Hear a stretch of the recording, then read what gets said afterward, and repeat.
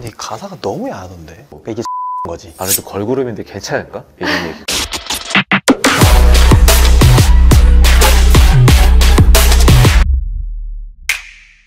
오늘은 톰보이 초대박 정규 1집 이후 2년 만에 정규 2집으로 이제 컴백한 선공개곡 여덟 번째 트랙 제목이 뭐죠? 와이프요. 그 와이프가 그 와이프인가? 네. 어 그건데 작곡 참여진을 우리가 좀 한번 보려고 하는데 어떻게 되나요? 톰보이 작곡하셨던 어허. 분들이 또 합치셨더라고요. 어 맞아 맞아 네. 퀸카. 퀸 죄송합니다. 톰보이 아니고 퀸카 퀸카를 했던 멤버들이 지금 참여를 했고 역시나 전소연, 팝타임 그리고 이제 데일리 어 이 친구가 네네. 누구죠? 그 유튜브 데일리 뮤직이라고. 맞아. 아. 데일리 뮤직 아. 아세요? 어. 영상 많이 봤어요. 많이 네네. 봤죠. 그 약간 네. 드립 잘 치고 네네, 맞아요, 되게 맞아요. 웃긴 유튜브 활동하다가 스톱했잖아. 네, 네. 맞아요. 스톱해가지고 왜 그러냐고 물어보니까 팝타임 형한테 눈에 띄어가지고 지금 거기서 이제 작업할 것 같다 하다가 알러지 이거 되게 잘 됐잖아. 네. 그 다음에 이제 퀸카, 그 다음에 이제 요거까지 이제 돼서 그래서 요즘에 유튜브를 그지 이거 해야지.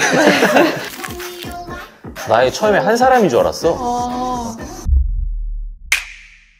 아. 요거에 대해서 좀 이야기를 한번 해볼 건데 혹시 댓글에 이것 좀 어디서 뭐 들어본 것 같다 익숙하다 이런 댓글이 좀 달리는데 두 분은 그런 걸 느낀 곡이 있어? 저는 근데 그 곡이 비슷한라기보다는요. 아 표절 얘기하는 거 아니야? 네네네네. 어. 네. 아, 일단- 아니야. 네네네네. 글로 몰아가지 마. 아, 저는 개인적으로 딱 어. 느꼈을 때, 음. 아, 좀 생뚱맞긴 한데, 만화 영화, 마다가스카르에 I Like to Move It이라는 노래가 있거든요. 그게 생각이 나더라고요. 완전 제 스타일이어가지고, 어. 그렇게 좀 엽기적인 게. 어, 혹시 해리도 있어? 이한이송 아세요? 이한이 씨. 헤이 모두들 안녕 내가 누군지 아니? 아, 그- 제가 어, 요즘 유행하는 거야? 어 아니요 좀 좀, 오래됐어요. 옛날에 네, 어. 했던 건데 그래? 어, 살짝 그 맛이 있긴 해요. 네. 나는 블랙 아이드 피스 Boom Boom Pow. 아, 어, 808 베이스 코드감 나면서 네. 랩하고 이런 게 딱, 어, 이거 내가 옛날에 좋아했던 Boom Boom Pow 스타일을 좀 여자 아이돌화 시켰네? 이 생각이 좀 딱 들었지. 그래서 어쨌든 뭐 세대마다 생각나는 노래가 다른 것 같고 아마 이런 노래의 원조는 Boom Boom Pow일 거야. 아. 어, Boom Boom Pow가 처음으로 음악에서 어떤 느낌이었냐면 반주가 이렇게 없는데 왜 이렇게 좋지? 이런 느낌이었거든. 거의 최초의 노래였어. 808 하나로만 랩하는데. 그러면 우리 서현 씨, 이 곡의 장르가 어떻게 되는 것 같아요? 이제 제가 음. 조사를 하다가 하도 안 나와서 저희 이제 장르의 신 지현님께 자문을 구했더니 어, 바로 나오더라고요. 뭐? 댄스홀이라고. 댄스홀? 네, 댄스홀 댄스홀이 리듬에서 뭐야? 이제 같은 라틴 계열 장르인데요. moombahton은 쿵, 짝, 쿵, 짝 이런 리듬이라면 음. 이제 그거를 반대로 했을 때 쿵, 쿵, 짝, 쿵 하면은 그게 이제 음. 댄스홀 장르고 같은 라틴 계열 느낌의 뭐 아프리카 퍼커션도 많이 들어가고 예를 들어서 어떤 노래가 있지? 최근에는 엔믹스의 Love Me Like This, 아이브의 키치 그리고 이제 저희 신사동 PD님께서 예전에 작곡 하신 어. EXID 위아래 아, 위아래 이런 느낌 있다. 네, 댄스홀 장르에다가 trap적인 힙합 요소를 많이 가미시킨 노래라고 생각이 들었습니다. 그래서 나는 다른 장르로 지금 보고 있거든. 아, 네. 나는 그냥 electro 댄스인데 아, 네. bubblegum pop, hyper pop 들어봤어?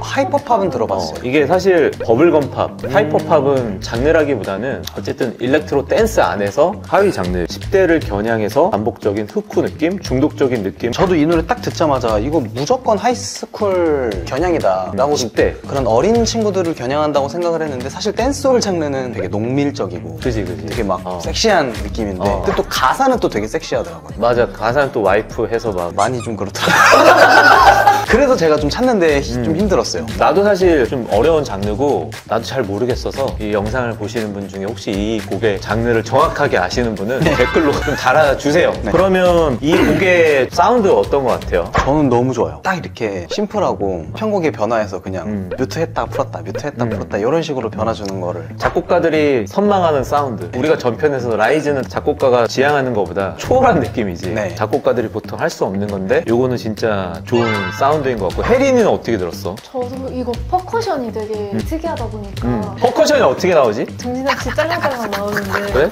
한번 들어볼까? 아, 요 소리. 와, 되게 심플한데 1초도 지루하지 않다. 네. 여러 가지를 잘 혼합을 한 것 같아. 네. 근데 이 가사가 너무 야하던데 가사가 야하다고? 네 가사 무슨 내용인데? 가사가 너가 해석한 대로 얘기해 줘봐. 진짜 얘기해도 돼요? 어, 후렴 가사가 어. 크림 수프거든요. 음. 그러니까 나는 크림 수프를 만들다로 시작을 한단 말이에요. 그래서 근데 그 크림 수프가 약간 좀 꾸덕하고 음. 흰 색깔의 그런 애니까 바로 연상이 돼버려가지고 뭐가 연상돼? 나는 모르겠는데. 크림 수프 하면 일단 생명의 근원이 어. 생각이 나서 어. 그 어. 바로 뒤에 붙는 가사가 어. 어, taste 음. coco loco라고 아, 얘가 뭘 먹고 근데 그러면 19금 붙었나? 안 붙었어요. 그게 아니면 너가 너무 음란마귀가 씌인 거 아니야? 사실 저는 근데 어떤 노래를 들어도 그쪽으로 해석하긴 합니다. 아니 그래서 댓글에 네. 10대들이 듣기에 너무 좀 선정적인 게 아니냐 댓글도 좀 많이 달리더라고 네네. 그게 왜 그런가 봤더니 너 같은 놈이 많아서 그러네 순수하게 청소와 요리와 너의 와이프 막 이런 걸 썼을 수도 아. 있는데 아, 나는 근데 진짜 아무, 아무 생각 없이 듣고 아, 진짜요? 다섯 명이 이게 똑같은 건가? 다른 건가? 아니면 다섯 명 복사한 건가? 나는 그것들만 봐가지고 이게 거지.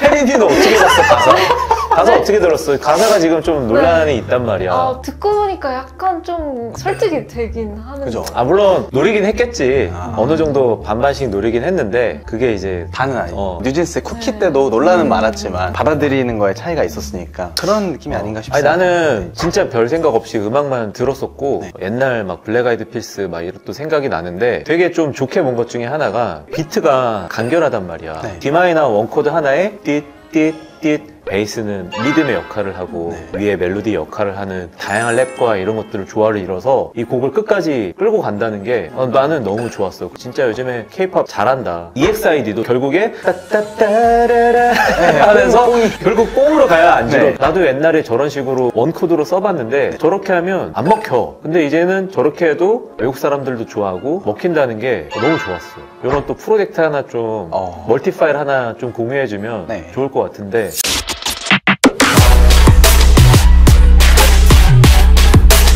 뮤비는 어떻게 보셨나요? 뮤비 일단 의상도 두 개, 헤어스타일도 두 개, 딱 그 두 개로만 계속 가더라고요. 아 이게 두 개밖에 아니야? 네. 나는 여러 벌 같은데. 저도 처음에 여러 번 나온 줄 알았는데 딱 그 초록색에 흰색 머리, 파란색에 아. 흰색 옷 이 두 가지로만 아 두 개인데 그렇게 여러 가지로 보이게 한 거야? 네. 페리는 뮤비 어떻게 봤어? 저는 하얀 호리존 배경만 계속 음. 나오는데 지루하지 않게 만든 게 정말 대단했던 것 같고 음. 이번 정규 2집이잖아요. 그래서 막 곡도 2분이 되고 되게 디테일에 신경 쓴 게 많더라고요. 야 우리도 저기 호리존 있으니까 이따 한번 쳐보자. 아 후키 영상으로. 좋은 것 같습니다. 어.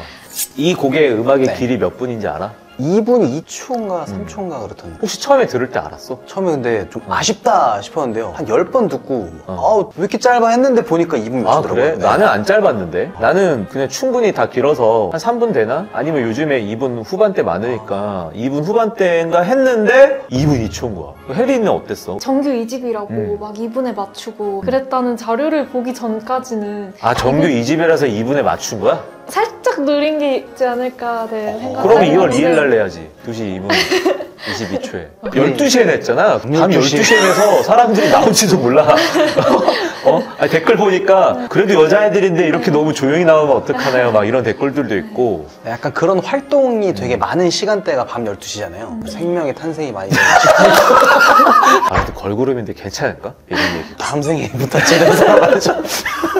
요즘 짧아서 이제 2분 20초까지 왔는데 이러다가 쇼폼으로 59초짜리 곡들 막 나오지 않을까. 나는 좀 어릴 때부터 음악을 했으니까 우리 때는 5분짜리 곡 막 이런 것도 많다 보니까 사실 가끔은 좀 정이 없게 느껴지는 거? 너무 약간 기획적으로 곡 길이도 짧아지고 하다 보니까 아 지금까진 괜찮은데 이러다 진짜 59초짜리 곡 나오면 음악이 음악이 아니라 내가 춤출 수 있는 거를 좀 표현해주는 하나의 도구? 이 정도로 생각하지 않을까. 그게 조금 아쉽긴 해 그래도 이번 음. 곡은 선공개곡이니까 음. 타이틀곡도 어. 너무 기대가 되고 이게 지금 선공개가 좀 악플이 많이 달리더라고. 네. 이거에 대해서 어떻게 생각해? 어, 왜? 어. 아, 그니까 나는 왜? 이게 맞는 것 같아. 선공개잖아. 그동안 했던 스타일이 아니잖아. 나는, 어, 여자애들이 이런 것까지 소화한다고 하면서 너무 놀랬거든? 그냥 이런 걸 좋아하는 사람은 좋아하고 말면 말고. 물론 이제 타이틀이 아쉬우면 좀 어느 정도 그런 것도 좀, 왜냐면 너무 기대한 사람들이 있으니까 할 수 있겠지만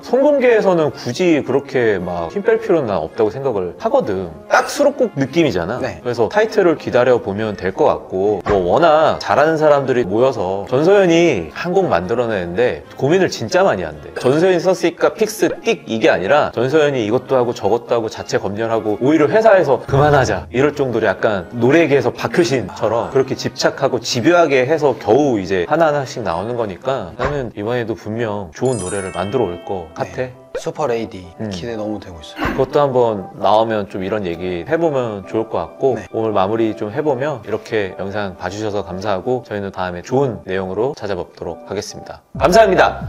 안녕. 안녕.